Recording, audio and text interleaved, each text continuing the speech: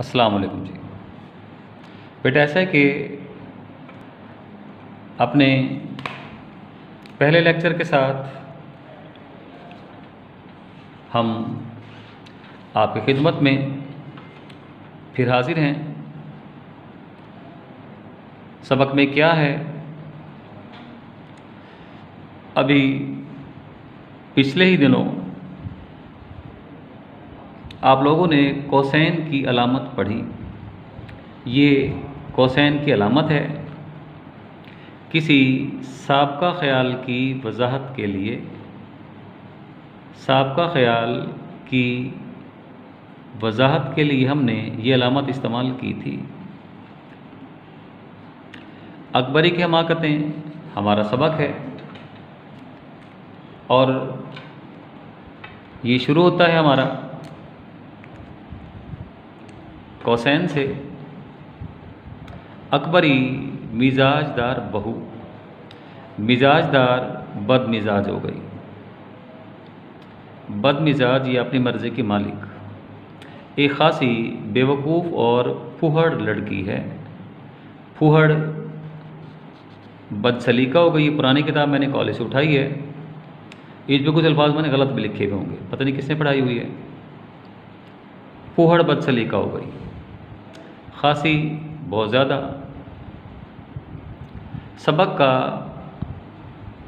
पिछला अहवाल है कि अकबरी मिजाजदार, बहू एक खासी फूहड़ और बेवकूफ़ लड़की है, जिसकी शादी मोहम्मद आकिल से हुई। मोहम्मद आकिल, उसके शौहर का नाम है। मैंने आपको पहले बताया था कि नावल के जो किरदार हैं, वो इसम्बा मुसम्मा हैं। अकबरी बड़ी है, असगरी छोटी है, मोहम्मद आकिल अकलमंद है। ये आपका पहला एमसीक्यू बनेगा। अकबरी को ससुराल में किस नाम से पुकारा जाता था? मिजाजदार बहू के नाम से। अकबरी कैसी लड़की थी? अकबरी बेवकूफ़ और फुहड़ लड़की थी। एक और एमसीक्यू बनेगा आपका। अकबरी की शादी किससे हुई? मोहम्मद आकिल से हुई। ये हमारा एक और एमसीक्यू हो गया। उसने सास उसर से लड़ने झगड़ने के बाद रूट कर अपने खामिन के साथ अलग घर में रहना शुरू किया। ये नावल का पिछला अहवाल है ताकि कुछ नावल आपको समझ में आ जाए। वैसे मैं पूरी कहानी खुलासे में आपको सुना चुका हूँ। लेकिन उसकी बद इंतज़ामी और ना समझी ने ना समझी कम अकली हो गई। घर को बर्बाद करके रख दिया। इसी दौरान में वो कुटनी के हत्ते चढ़ गई। कुटनी का मतलब है फरेबी, चालाक और मक्कार औरत, जिसे आप फरेबन भी कह सकते हैं। जिसे आप नौसरबाज भी कह सकते हैं। आपने अक्सर सुना होगा लफ्ज़ नौसरबाज का, ठगबाज जिसे कहते हैं। हत्ते चढ़ जाना, हाथ लग जाना। हाथ लग जाना। ये था ब्रैकेट में लिखा हुआ, ताकि इस पूरी कहानी की वजाहत हो सके। किसी सबका ख्याल की वजाहत के लिए हम जो अलामत इस्तेमाल करते हैं, वो कोसैन की अलामत है। यही हिस्सा आप खुलासे में भी ब्रैकेट में शामिल करेंगे। अब वो जो टेक्स्ट है, वो यहाँ से शुरू हो गया आपकी। इत्तेफाक से उन दिनों एक कुटनी शहर में वारिद थी। वारिद होना, दाखिल होना, आना या घुसना। अकबरी की बदबख्ती कह लें कि इधर अकबरी ने अलग मकान लिया। इधर इत्तेफाक से एक फरेबी मकार चालाक औरत शहर में दाखिल हो गए लोगों को लूटने के लिए। और हर जगह उसका गुल था गुल था, उसका शोर था, उसकी शोहरत थी कि शहर में एक कुटनी हज्जन का भेस बदल के आई हुई है। लोग ज़रा मोहतात रहें। मोहम्मद आकिल ने भी बीबी से कह दिया था कि किसी अजनबी औरत को अजनबी अनजान हो गई ना आशना हो गई। घर में मत आने देना। उन दिनों एक कुटनी आई हुई है। कई घरों को लूट चुकी है। शोहर चूँकि अक्लमंद था। उसने बीबी को बावर कराया कि एक ठगनी, एक कुटनी, एक मक्कार, अयार औरत शहर में आई हुई है। कई घरों को लूट चुकी है। लिहाजा अगर ऐसी कोई अनजान औरत घर में दाखिल होने की कोशिश करे तो उसे घर में हरगिज़ मत आने देना। लेकिन मिजाजदार शिद्दत से बेवकूफ़ थी। शिद्दत से बहुत ज़्यादा। बेवकूफ़ों की निशानियों से एक निशानी ये है कि उन्हें जिस बात से मना किया जाए, उस बात को वो ज़्यादा शिद्दत से करते हैं। तो अकबरी भी ऐसी ही थी। उसे तजस पैदा हो गया कि शौहर ने उसे ऐसा क्यों किया? उसके साथ ऐसा क्यों किया? उसकी आदत थी हर एक से जल्द घुल मिल जाना। घुल मिल जाना, बेतकल्लुफ़ हो जाना। एक दिन वही कुटनी हज्जन का बेस बना, बेस बनाना रूप बदलना हो गया। उस कुटनी ने हज्जन का रूप बदला। हुज्जन लफ्ज़ नहीं है, लफ्ज़ हज्जन है। हाजी की मोन्नस हो गई। उस गली में आई ये मक्कार हज्जन बेवकूफ़ औरतों को फुसलाने के लिए तरह तरह के तबरुकात तबरुकात ऐसी चीज़ें जिनसे बरकत हो। बरकत की हामिल चीज़ें जिनसे बरकत हासिल हो और सदहा किस्म की, सदहा सैकड़ों हो गई। अपने पास रखा करती थी। पैराग्राफ। यहाँ से आपका पैराग्राफ बनेगा। ये शुरू होगा यहाँ से। मुसनफ़ बताते हैं कि हजन चूँकि उस औरत हो चूँकि हजन के रूप में आई थी हजन एक पाकबाज औरत हो गई। उसने सफ़ेद स्कार्फ पहना हुआ था, उसके बाल सर के सफ़ेद थे, गले में उसने तस्बीहें और मंके डाले हुए थे। उसने लोगों को बहलाने के लिए, फ़रेब देने के लिए मुख्तलिफ़ किस्म की चीज़ें अपने पास रखी हुई थी। वो चीज़ें कौन कौन सी थीं? उसके पास मुख्तलिफ़ किस्म की तस्बीहात थीं। उसके पास तस्बीहात थी। उसका कहना था, ये तस्बीहात वो खालिसन मक्का मुकरमा मदीना मनवरा से लाई है। इसकी ज़ियारत भी की जा सकती है और कोई ख़रीदना चाहे बरकत के लिए तो उसे ख़रीद भी सकता है। खाक शिफा। खाक शिफा क्या है? खाक शिफा से मुतक दो तरह की रिवायात मिलती हैं। दो तरह की रिवायात मिलती हैं। हमारा एक तबका है, उसका कहना है कि ये मदीना मुनवरा की मट्टी है। मदीना मुनवरा की मट्टी है, जो मरीज़ों को शिफा देती है। हमारे दूसरे तबके का कहना है, जिसे हम अहल तशी कहते हैं, ये करबला की मट्टी है, जो शिफा देने के काम आती है। तो उसके पास खाक तस्बी थी, खाक शिफा कुछ मट्टी उसके पास थी, मट्टी हकीकत में तो वो मट्टी असली मट्टी नहीं थी। अकबरी का, हज्जन का ये कहना था कि ये मट्टी मदीना मुनवरा की है या करबला की मट्टी है? जमजमियाँ। उसके पास जमजमियाँ भी मौजूद थी। जमजमियाँ। आब ज़मज़म पिलाने का बर्तन जमजमिया कहलाता है। उसके पास छोटे छोटे मट्टी के मटके थे छोटी छोटी मट्टी की प्यालियाँ थीं। पिछले ज़मानों में हाजी हज पर जाया करते थे तो साथ मट्टी के छोटे छोटे बर्तन भी उठा लाते थे। उनमें जमज़म डाल के लोगों को पेश किया करते थे। उसे जमजमी कहा जाता है। मदीना मुनवरा की खजूरें। उसके पास कुछ खजूरें थीं। जो हकीकत में मदीना मुनवरा की तो नहीं थी, लेकिन उसका ये कहना था कि खजूरें खालिसन मदीना मुनवरा से लाई गई हैं, जबकि वो आम खजूरें थीं। कोहे तूर का सुरमा। तलमी है। हम सारे तफसील तशरी में देंगे। कोहे तूर का सुरमा। कोहे तूर का सुरमा भी मौजूद था। जब मूसलाम ने अल्लाह ताला से उसके दीदार की तलब की, बाकी ज़बानें सुन लेंगे आप लोग। अल्लाह ने दीदार ने कराया। जब दीदार कराया तो मूसा अलैहिस्सलाम बेहोश हो गए। उनके साथ आने वाले तमाम के तमाम साथी, चालीस लोग थे, मौत का शिकार हो गए। और कोहे तूर पर तजल्ली गिरी तो कोहे तूर सुरमा बन गया।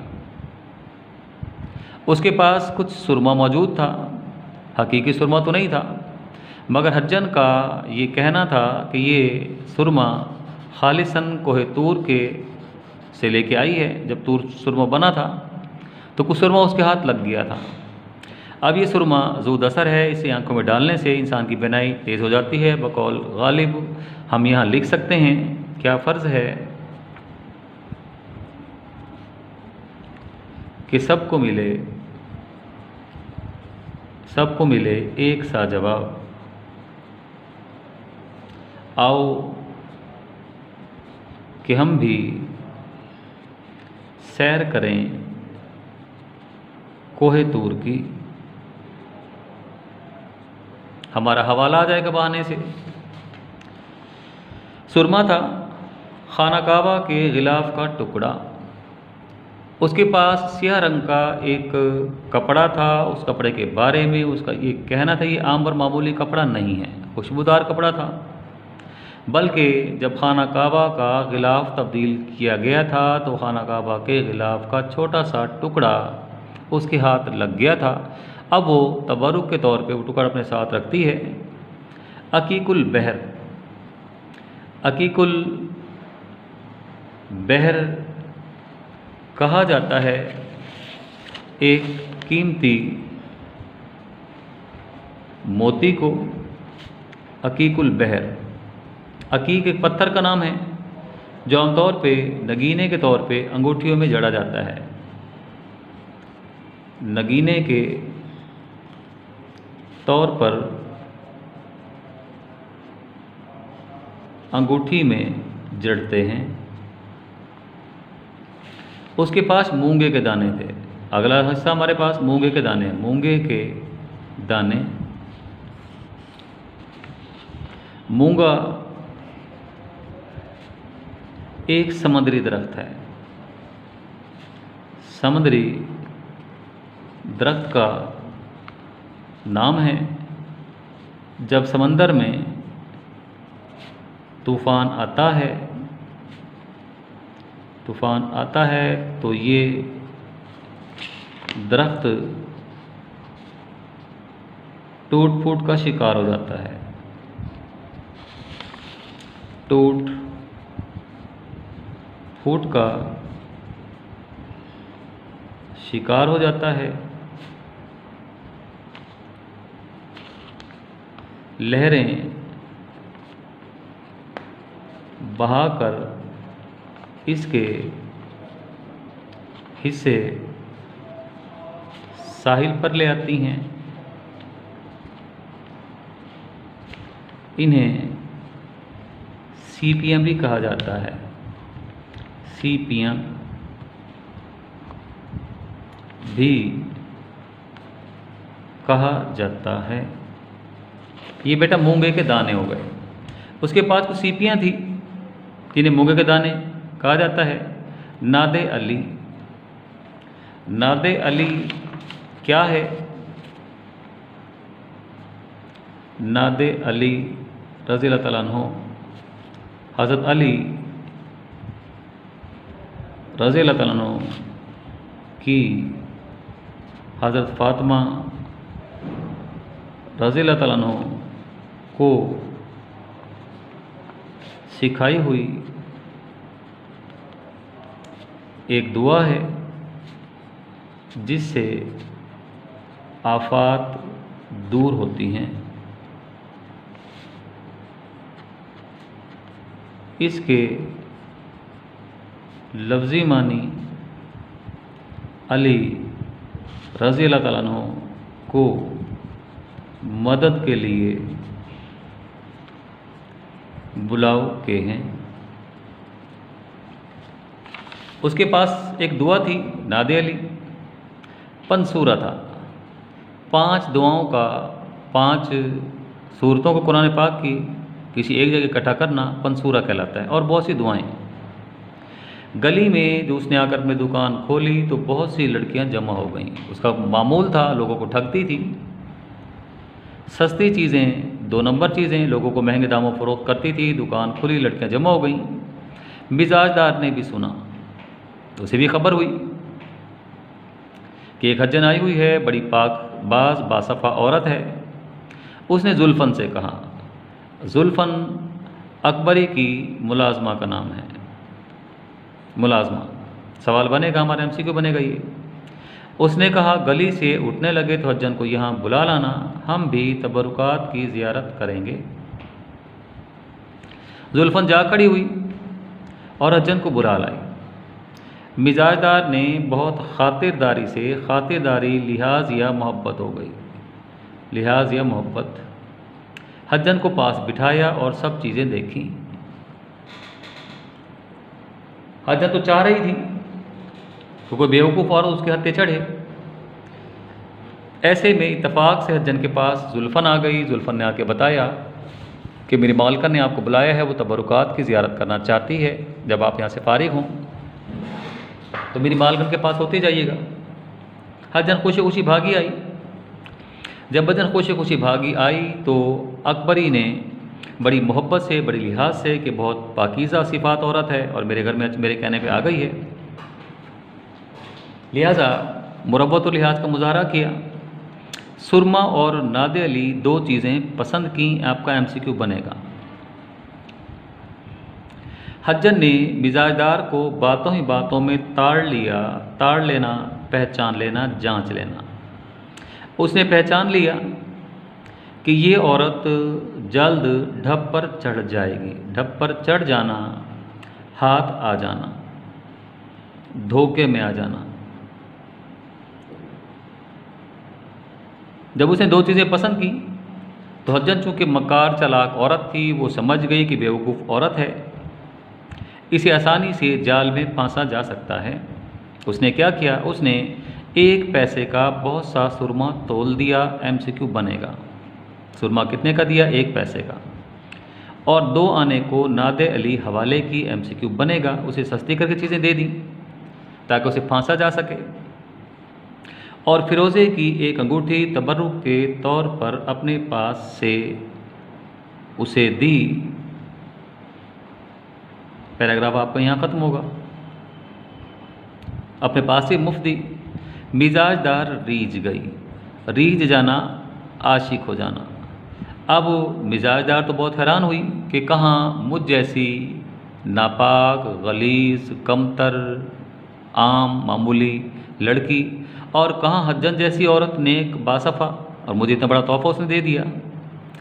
इसके बाद हज्जन ने समंदर का हाल, अरब की कैफियत, ये कहानी सारी आगे आएगी, जब आएगी तो मैं आपको बता दूँगा। और दिल से जोड़कर, दिल से जोड़ना, खुद साख्ता बातें करना। ऐसी बातें की कि मिजाजदार ने कमाल शौक़ से सुना और उसकी तरफ़ एक ख़ास इल्तिफ़ात किया।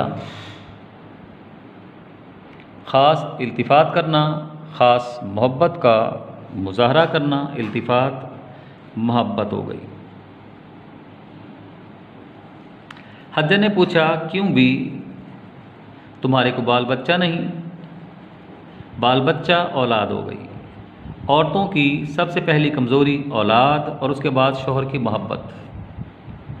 मिजाजदार ने आह खींच कर कहा आह खींच कर कहना, अफसरदगी से कहना। उसे बड़ी अफसरदगी से कहा, हमारी तकदीर ऐसी कहाँ थी? हमारी किस्मत ऐसी कहाँ थी कि हमारे यहाँ बच्चे होते? हज्जा ने पूछा बिया को कितने दिन हुए? बिया शादी हो गई। मिजाजदार ने कहा, अभी बरस रोज़ नहीं हुआ। बरस रोज़ एक साल मुकम्मल होना। एक साल मुकम्मल होना और एक साल मुकम्मल होने से कबल भला? औलाद कहाँ पैदा होती है? मिजाजदार की बेअकली का अब तो को यकीन हुआ और दिल में कहने लगी कि इसने तो औलाद का नाम सुनकर ऐसे आँख खींची है। जैसे बरसों का उम्मीदवार। हजर ने कहा, ना उम्मीदी की बात नहीं, तुम्हारे तो इतने बच्चे होंगे कि तुम संभाल भी ना सकोगी। ये बेटा हमारा पहला सफ़ा मुकम्मल हुआ। हजर ने उसे तसल्ली दिलाई कि तुम नाउमीद मायूस मत हो। मेरे पास तावीज़ भी हैं, मेरे पास गंडे भी हैं, मेरे पास बहुत सी दुआएँ भी हैं, मेरे पास बहुत सी अद्वियात भी हैं। मैं तुम्हें तमाम अद्वियात दूँगी और उन अद्वियात के इस्तेमाल से तुम्हारे इतने बच्चे होंगे, तुम उन्हें संभाल भी ना सकोगी। ये आज का हमारा पहला लेक्चर मुकम्मल हुआ। कल इन नए लेक्चर के साथ आपकी खिदमत में फिर हाजिर होंगे। तब तक के लिए मुझे इजाज़त दीजिए। अल्लाह हाफिज़।